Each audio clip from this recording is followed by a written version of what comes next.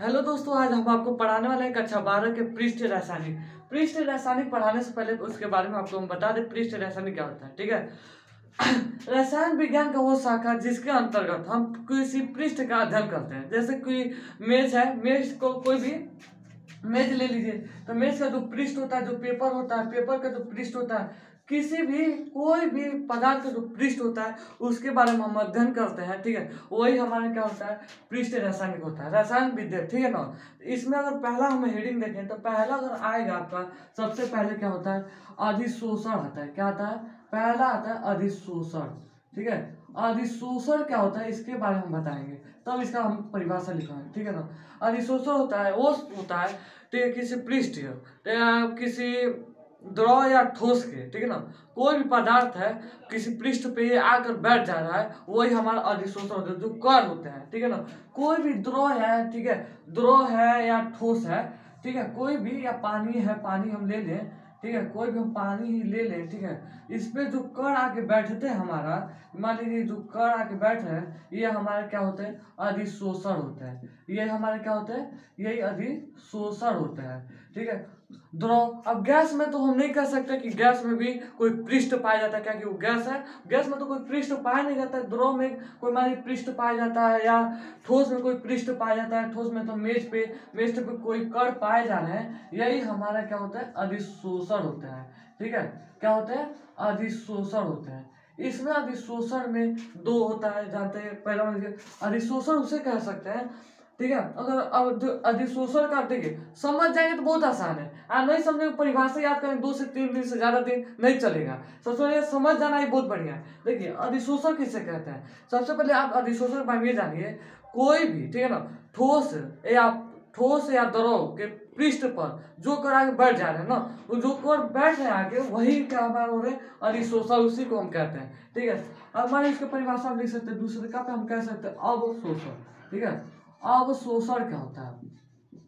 अवशोषण क्या होता है? इसके बारे में हम आपको बताएँगे। अवशोषण वो होता है मान जो कर हमारे पृष्ठ पे आके बैठे वो कर है ना, जो कर हमारे पृष्ठ पे आके बैठ रहे हैं ना, वही हमारा क्या होता है? अवशोषण होता है, क्या? जो कर आके बैठ रहा है, वही हमारा क्या होता है? अवशोषण होता है। कर ही हमारा क्या? अवशोषण है। ठीक है ना? इसी को हम क्या बोलते हैं? अवशोषण। फिर से आपको बता दें समझना देखिए, समझ गए तो बहुत आसान है। और नहीं समझेंगे, दो से तीन दिन परिभाषा रटेंगे फिर भूल जाना है। कोई काम है इसलिए समझ जाएँगे ठीक है, समझने के लिए ये कह सकते हैं हम। क्या कह सकते हैं? कि जो है, कर हमारा, जो आके बैठ रहा है, जो कर हमारा है ना, वही अवशोषण है। ठीक है? अब मान लीजिए, तीसरा का नंबर पे हम बता देंगे आपको? क्या बता दें? आपको बता दें क्या? विशोषण। ठीक है ना? विशोषण ठीक है? विशोषण क्या होता है?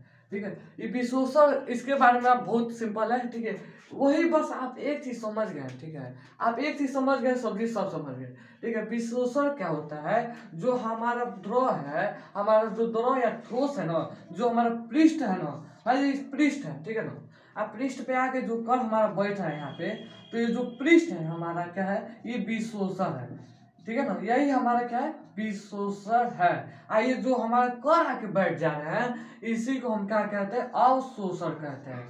ठीक है, क्या बोलते हैं? अवशोषण कहते हैं। आ दोनों के प्रक्रिया को हम क्या कहते हैं? अधिशोषण कहते हैं। ठीक है, क्या बोलते हैं? अधिशोषण कहते हैं। समझ जाएगी। एक समझ गए ना तो तीनों अपने आप आ जाएगा, ठीक है? तीनों नहीं, दोनों अपने आप आ जाएगा। समझना, देखिए, समझना ही बहुत आसान है। आ नहीं समझेंगे तो दिक्कत आपके लिए है, ठीक है? आ नहीं समझ आएगा कमेंट में बता दीजिएगा हाँ नहीं समझ आया है। उसमें आपको हम बता दे क्या है, अधिशोषण देखिए, दोनों का प्रक्रिया को हम क्या बोलते हैं? अधिशोषण कहते हैं। और मान लीजिए, जो पृष्ठ है, जिस पे कर आके बैठ रहा है, मान लीजिए आप स्कूल में जाते होंगे, स्कूल में बेंच में बैठे होंगे तो उससे पहले आप झाड़ते होंगे, तब तो बैठे होंगे। बिना झाड़े आप नहीं बैठे होंगे। क्योंकि आप जाते होंगे तो वहाँ देखते होंगे, बहुत गर्दा बैठा रहता है। वो जो गर्दा बैठा रहता है, जो कर हमारा बैठा रहता है ना, जिस पे बैठा रहता है मतलब जो टेबल पे बैठा रहता है, वो हमारा क्या होता है? विशोषण होता है। और जो बैठा रहता है कड़वा जिसको हम झाड़ते हैं ना, जिसको हम झाड़ते हैं, पूछते हैं, वही हमारा अवशोषण होता है। और दोनों को प्रक्रिया को हम ले लें, दोनों एक साथ हो तो दोनों एक साथ होबे करेगा। और जब दोनों एक साथ होगा तो उसको बोलते हैं अधिशोषण बोलते हैं। देखिए, बहुत आसान है। और हार्ड लगेगा तो बताइएगा, इससे भी आसान भाषा सुन जाएगा हमको तो नहीं लग रहा कि आपको हार्ड लग रहा होगा, ठीक है? तो समझ जाइए दोनों प्रक्रिया जब हो रहा है तो क्या हो रहा है? अधिशोषण हो रहा है। और जब एक हो रहा है, ठीक है? इसमें मान जो पृष्ठ पे बैठ रहा है, अवशोषण हो रहा है। और जो कर हमारा है, अवशोषण है, ठीक है ना? और वही है रसायन ज़्यादा हार्ड नहीं है. और आगे की जो हेडिंग है, हम आपको आगे वाला वीडियो में भेजेंगे, ठीक है?